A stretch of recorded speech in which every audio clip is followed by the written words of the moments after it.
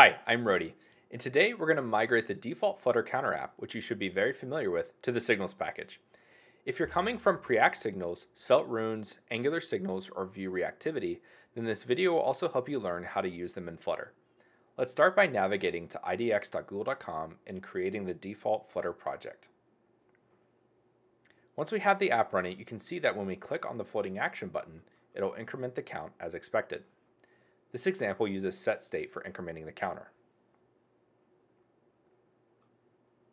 Every time that we call set state, it'll rebuild the widget tree by calling the build method. You should write your build method in such a way that it can be called potentially every frame, like when adding animations to your app.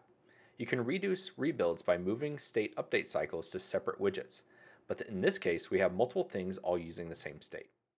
To migrate to signals, for this example, we can start by adding the package to our current project through the command line.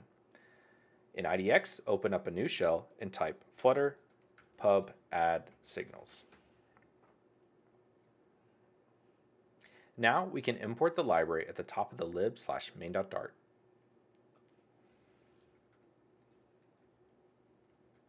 making sure to select signals underscore flutter since it includes some extra helpers when working with Flutter outside of pure Dart projects. We can start by simply replacing the int that we defined for the counter variable with a signal.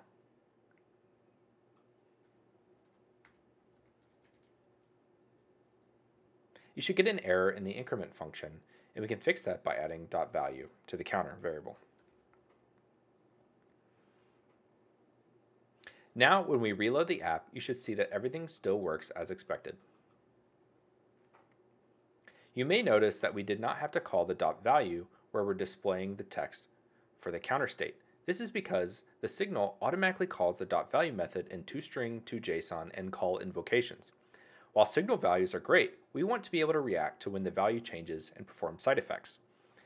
We can create an effect inside of our init state that will react to when the counter value changes and we can call set state in one place without having to worry about where it was updated from.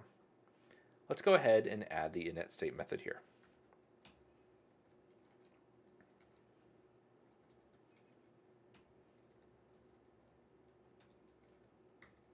Now we can grab the counter value and then call set state.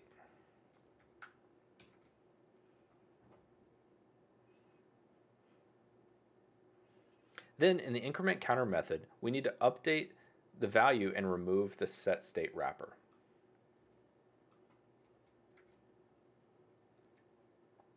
Now when we reload the app, we will see that every time we increment the counter, the value still goes up as we expect.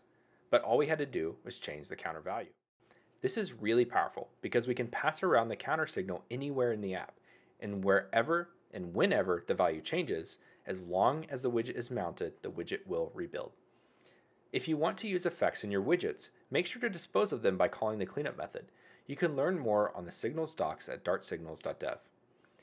This may remind you of value notifier and change notifier, but in this case, we don't have to add a listener to the signal. Instead, all the dependencies are tracked in the effect when we read the values.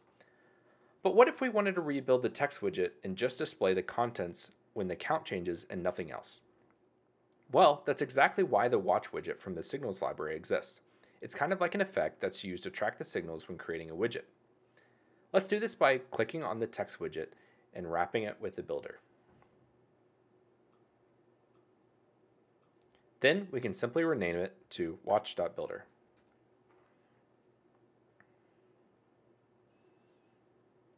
Watch is a drop-in replacement and you can use it anywhere you would a builder widget.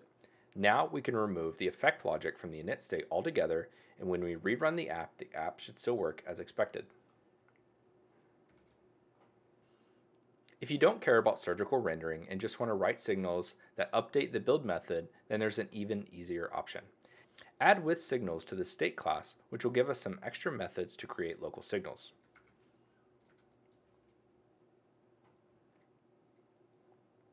Then we can update our counter declaration to use the local signal instead.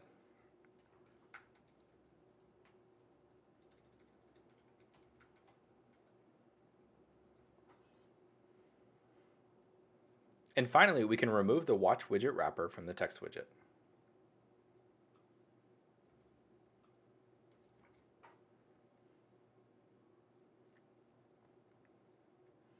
Now for the last time, when we reload our app, we will see that it continues to work as expected.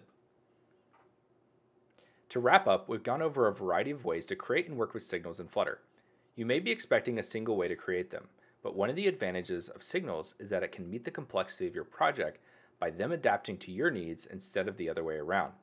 You may also find that with signals, it's easier to port logic between web and Flutter now, since they have the same reactive primitives in place. As always, you can find me on GitHub and Twitter is at Rody Davis. And if you have any questions at all, please feel free to leave them in the comments or reach out. Thanks for coding along, and we'll see you next time.